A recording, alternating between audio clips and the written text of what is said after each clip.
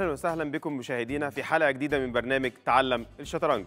زي ما شفنا في الحلقة اللي فاتت اتعلمنا ال twofold attack أو الهجوم المزدوج وعرفنا إزاي بنقدر نعمله بطريقة صحيحة عشان نقدر نكسب material وبكده اتعلمنا أول طريقة من طرق ال tactics. كلنا عارفين إن دور الشطرنج بينتهي نهايتين نكسب أو نخسر. لكن النهارده هنعرف إن في حاجة اسمها تعادل ودي نهاية ثالثه لدور الشطرنج. هنتعلم كويس إمتى الدور ينتهي ويبقى تعادل والحالات المختلفة لده.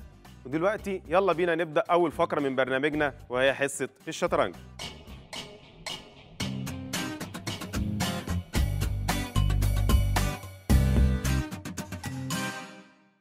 ودلوقتي ميعادنا مع فقرة حصة شطرنج. اللي هنتعلم فيها حاجة جديدة وهي التعادل أو الدرو بالانجلش بس خلونا قبل ما نبدأ نرحب بأصدقائنا. يحيى إزيك يا يحيى؟ إزيك؟ فاكر كل الدروس اللي أخدناها قبل كده؟ آه. برافو يا يحيى ومعانا برضو ناتالي. ازيك يا ناتالي؟ الحمد لله. جاهزة يا ناتالي لحصة النهارده؟ آه. يلا بينا نبدأ موضوع النهارده اللي هنتكلم فيه عن نتيجة الدرو, أو التعادل. إحنا عارفين عرفنا قبل كده إن بعد ما يحصل الكش مات النتيجة بتبقى مكسب طرف وخسارة طرف آخر. هنا في نتيجة ثالثه ممكن تحصل هي الدرو أو التعادل. أول حاجة فيها مشهورة جدا إن ممكن كل القطع تخلص ويبقى ال king قصاد ال king. طيب النتيجة هتطلع تعادل لأن ما, ينفعش عمليا إن ال king يدي كش أو يقرب من الكينج الثاني لازم يكون في بينهم مربع فاضي. حتى مثلا لو شفنا كده في الموقف ده إن ال king الأسود الملك الأبيض الملك الأبيض حابس الملك الأسود في ال corner اللي هو أكتر مكان القطع بتتحبس فيه. طيب ومع ذلك لسه ال king عنده حركة. فما فيش كشمات ممكن تحصل في الموقف ده برضو بسبب إن الملك ما ينفعش أصلا يدي كش للملك الثاني تاني طريقة من طرق التعادل هنعرفها دلوقتي اللي هي ممكن يكون معانا قطع غير كافية لعمل الكش مات برضو تاني المعلومة اللي لسه قايل لحضراتكم عليها إن أكتر مكان القطعة بتبقى ملهاش حركة فيه زي ما شفنا في الدرس اللي قبل كده إن الكورنر بيخلي عدد حركات القطع بتقل فالملك واقف في أكتر مكان حركته فيه بتقل اللي هو الكورنر. والملك بتاعي واقف أكتر مكان يقدر يقرب منه فيه اللي هو في بينه وما بينه مربع. والفيل بتاعي بيديله كش. ومع ذلك الملك يقدر يعمل move في مكان safe يبقى دي كده القطع اللي معايا اللي هو الملك وال bishop غير كافيين أو ما يقدروش يعملوا مع بعض checkmate وبالنتيجة النتيجة تطلع هنا تعادل برضه. نفس الكلام مش هتفرق لو كان الفيل بيمشي على ال diagonal أو الوتر الأبيض أو لو كان بيمشي على ال diagonal الأسود. والمعلومة هنا مهمة جدا في بعض الناس بتتلخبط فيها كتير. إن ممكن يفتكر إن أنا حابس الملك بتاعه وملوش أي حركة يتحركها إن أنا كده كسبت الدور. بالعكس لازم حاجة مهمة جدا تحصل وخدناها في الدروس اللي قبل كده اللي هي ال check اللي أنا أكون عامل check للملك أو تهديد للملك.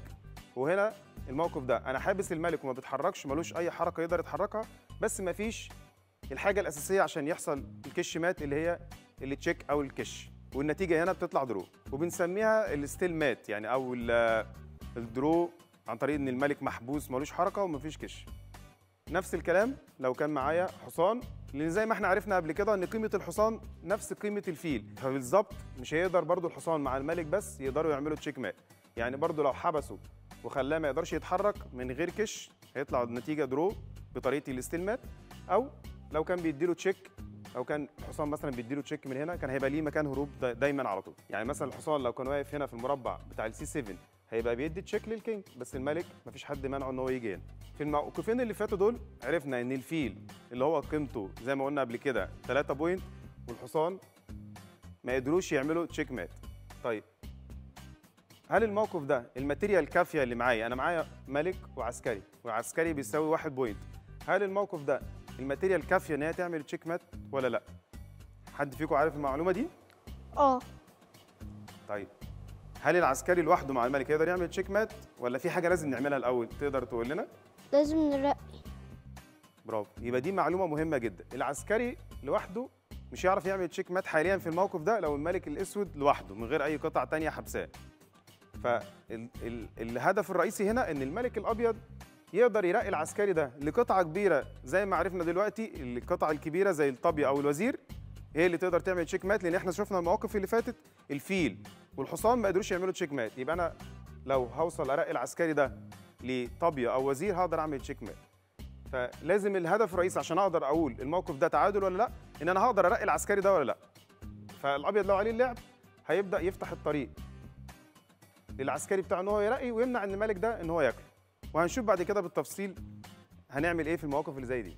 طيب ممكن لو الأبيض معاه قطعة كافية إن هي تعمل checkmate زي الوزير والملك يقدروا يعملوا checkmate بسهولة زي ما شفنا في درس ال checkmate بس الأبيض عليه اللعب وما, لعبش صح في اتجاه أو في طريق ال checkmate زي هنا الأبيض ممكن غلطة ممكن يعملها إن هو ما يلعبش بطريقة صحيحة على ال checkmate وهنعرفها إن شاء الله في الدروس اللي جاية. إزاي بالملك والوزير نعمل خطوة وخطوة لغاية ما نعمل ال checkmate لو لعب لعبة زي دي هتلاقي النتيجة في الآخر إيه؟ إن الملك محبوس في ال corner والقطع بتاعتي ما أنا عامل حركه وكده مفيش check ولا في قطعة تانية مع الأسود تقدر القطع الأسود تعمل نقلة قانونية بيها. يبقى كده النتيجة برضو هتطلع تعادل.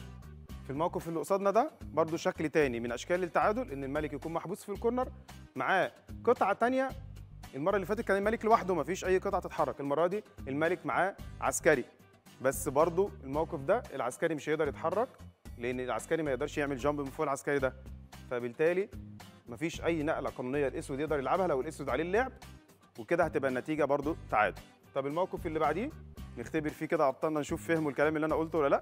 لو الموقف ده نفس الموقف بس عملنا إضافة بسيطة كده في القطع بالنسبة للأبيض والأسود. فنيجي لناتالي.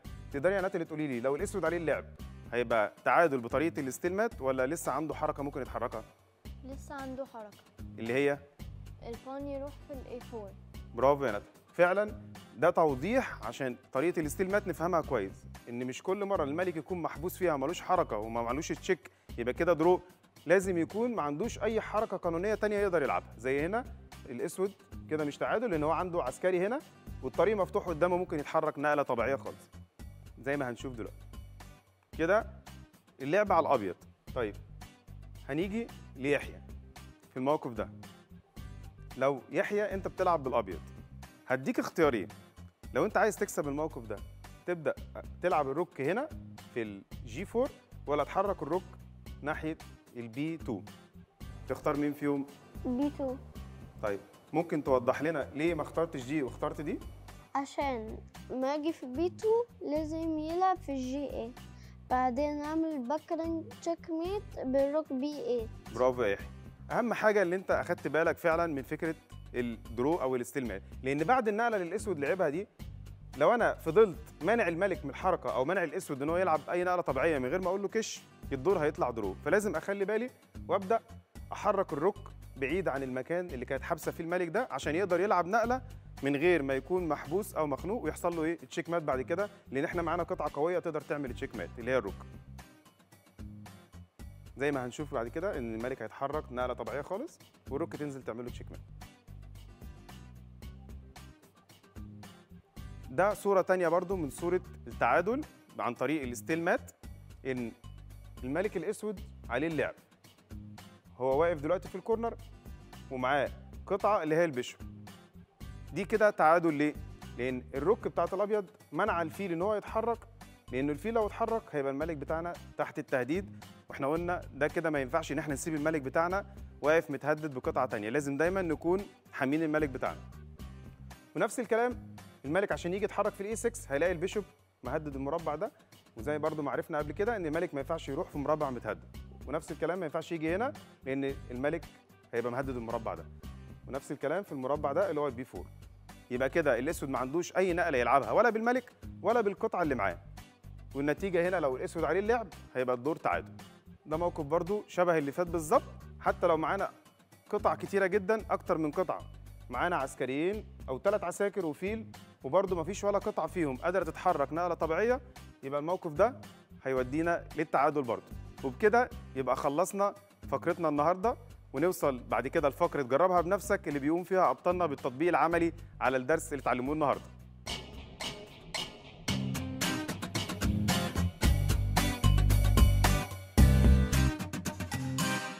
دلوقتي ميعادنا مع جربها بنفسك اللي هنتدرب فيها بشكل عملي على اللي شفناه بشكل نظري في الفقرة اللي فاتت. وإحنا اتكلمنا النهارده عن التعادل وعرفنا كويس إن دور الشطرنج مش بينتهي بمكسب أو خسارة بس. دور الشطرنج بينتهي كمان بالتعادل وعرفنا إمتى الدور يبقى تعادل. من ضمن حالات التعادل وأشهرها ال stalemate. المواقف اللي هنشوفها معانا دلوقتي عبارة عن موقف ليه تقييم من ثلاث تقييمات. يا إما الموقف اللي قدامنا هيبقى checkmate وإحنا عرفنا كويس يعني إيه checkmate يا إما stalemate يا إما الدور تعادل يا إما في لعب ولا ده ولا ده وهنبدأ مع يحيى وهنروح له دلوقتي وهنشوف أول موقف معانا. دلوقتي يا يحيى الموقف اللي قدامنا دوت في ثلاث احتمالات checkmate stalemate في لعب. تقدر تقول لي دي أنهي حالة؟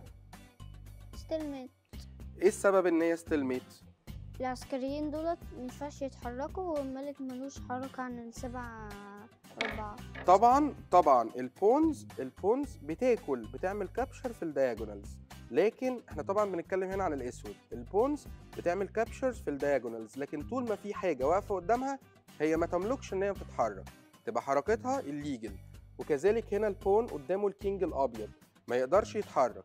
طب الملك ال black دوت لو اتحرك هنا ال pawns ده ال pawn ده قافل المربع. طب لو اتحرك في أي مربع من المربعين اللي لونهم أبيض دول هنلاقي ال bishop قافل كل الدياجونال. الثلاث مربعات دول طبعا إحنا كنا اتعلمنا قبل كده إن الملك ما ينفعش ابدا يقرب من الملك بتاع الخصم.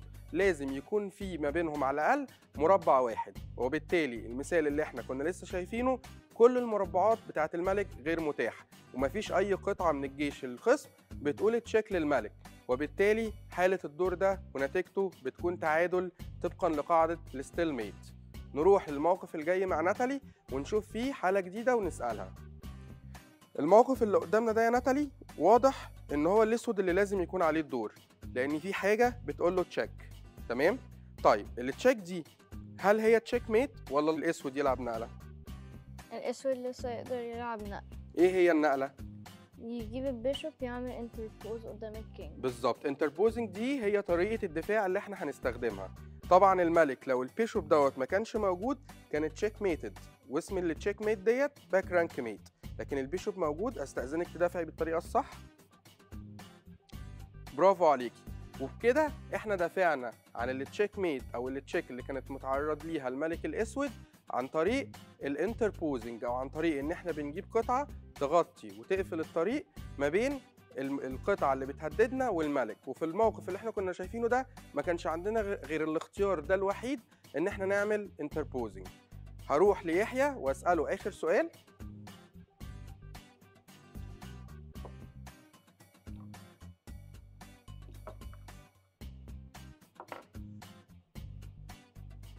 الشكل اللي قدامنا ده يا يحيى تعادل checkmate ولا نقدر نلعب؟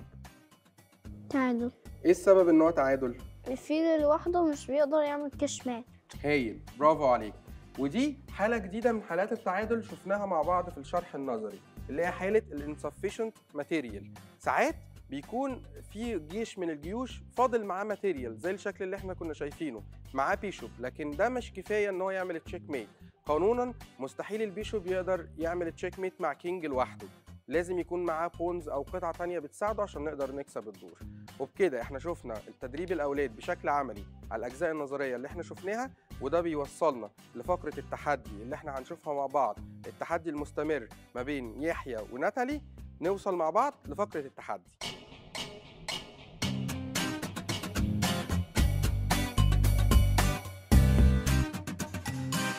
دلوقتي ميعادنا مع التحدي. اللي بيتنافس فيه فريقي أنا وناتالي مع فريق الملوك كابتن مصطفى ويحيى. وطبعا زي ما حضراتكم عارفين إن نتيجة المباراة يا إما فوز أو هزيمة طبعا النهارده اتعلمنا النتيجة الثالثه اللي ممكن تحصل اللي هي التعادل. وعرفنا الثلاث طرق بتوعها النهارده أو الثلاث طرق اللي خدناهم النهارده اللي هو يا إما الملكين قصاد بعض أو إن يكون في آه، ماتيريال غير كافية لعمل الكش مات أو الطريقة الثالثه اللي هي ال stalemate اللي كنا بنقول عليها إن الملك ملوش أي حركة ولا معاه أي قطعه ثانية تتحرك.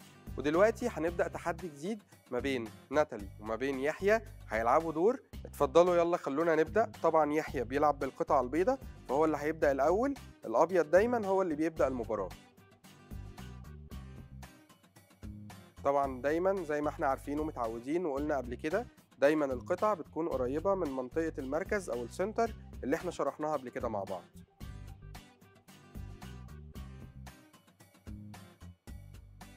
طبعا الحاجات دي كويسة جدا طبعا ال opening اللي لعبوه بس إحنا لسه ما خدوش الكلام ده بس كويس إن بدأوا كده هما لسه ما اتعلموش الكلام ده.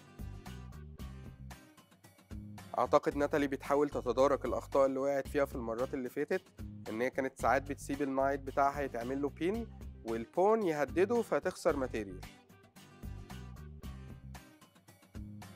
ويحيى بيدور طبعا على الاكستشينج المربح. لكن كل المبادلات دي ما زالت غير مربحة. قطعة بنفس لما تتبادل مع قطعة بنفس قيمتها ده غير مربح. لكن هو دلوقتي آه بالظبط. استعد فعلا اللي هو شال الحماية بتاعه العسكري وقدر يكسب العسكري. فده مظبوط. فعلا ده اكستشينج مربح قدر يكسب فيه آه عسكري قيمته قليلة بس يعتبر مكسب ماتيريال طبعا في قاعدة من قواعد الشطرنج زي ما إحنا عارفين قاعدة إن ممنوع الكلام وإن إحنا بنتكلم بشكل استثنائي. عشان بس الإفادة في قاعدة تانية مهمة اسمها قاعدة التاتش موف دايما القطعة اللي بنلمسها بإيدينا لازم نحركها ومفيش أي إمكانية إن إحنا نتراجع عن دي من أهم قواعد لعبة الشطرنج إن القطعة اللي إيدينا بتمسكها لازم نقوم بتحريكها.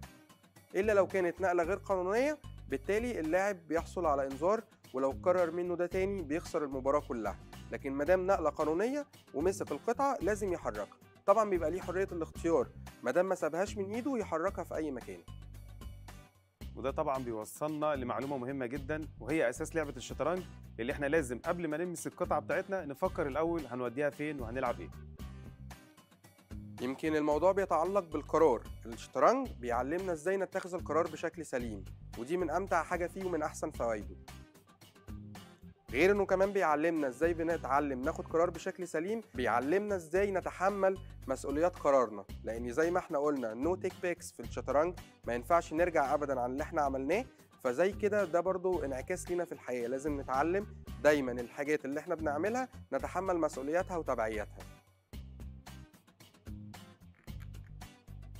شايف اكستشينج شغال. طبعا ده واضح جدا كده إن هو ممكن يوصلنا للدرس اللي اتعلمناه النهارده اللي هو ال draw لأن كل القطع لو اتكسرت قصاد بعض هو آه طبعا يحيى مع عسكري زيادة بس ممكن في الآخر يخسروا لو ما حافظش عليه. بس لو وصلنا لأن القطع كلها تتشال ويبقى بس الملك قصاد الملك يبقى دي حالة من حالات التعادل اللي اتعلمناها النهارده.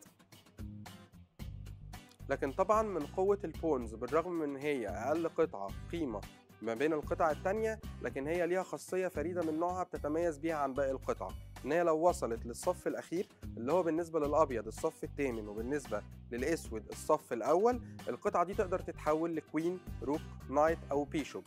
طبعا معظمنا في معظم الأوقات بنختار ال queen لأن هو أقوى قطعة وبالتالي ممكن قيم الدور كلها تتغير في لحظة واحدة لو pawn واحد بس وصل الصف الأخير. طبعا دلوقتي ابطالنا عملوا تبادل لكل القطع. فاضل بس عسكري زيادة مع يحيى. لو لو قدر يحافظ عليه ممكن نقول إن ممكن يحصل مكسب ليحيى. بس لو ما قدرش يحافظ عليه ممكن النتيجه تطلع للتعادل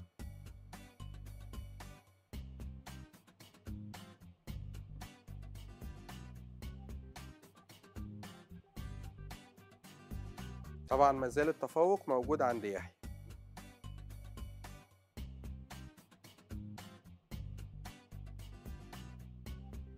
عادة ممكن يكون عسكري واحد كافي جدا إن إحنا نكسب دور لكن ده دايما بيحتاج نقلات دقيقة وإن إحنا نلعب بمنتهى الدقة ونحسب حسابات جيدة جدا عشان نقدر نوصل للمكسب.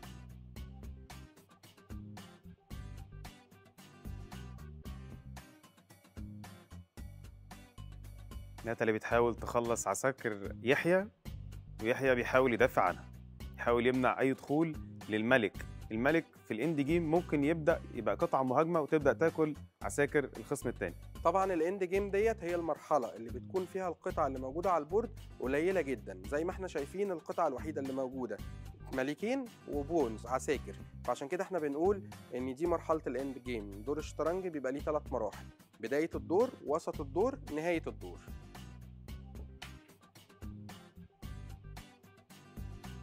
مازال الاكستشينج شغال.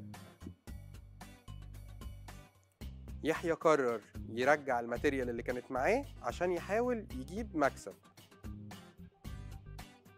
لو قدرت ناتالي فعلا تحافظ على العسكري وتدافع عن التهديد اللي يحيى بيحاول يعمله ممكن الدور يوصل للتعادل فعلا وده اللي هنشوفه دلوقتي.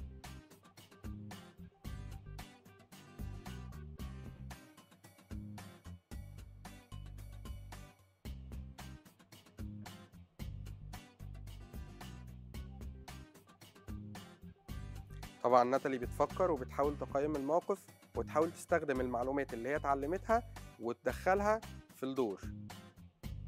وتقدر تستخدم دوت وكذلك ده اللي بيعمله يحيى.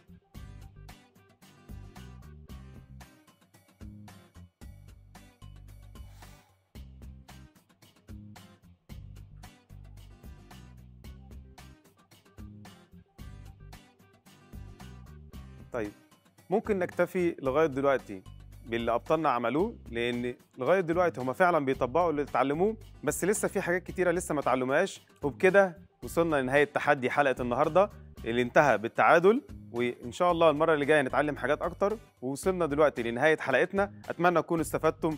أشوفكم على خير.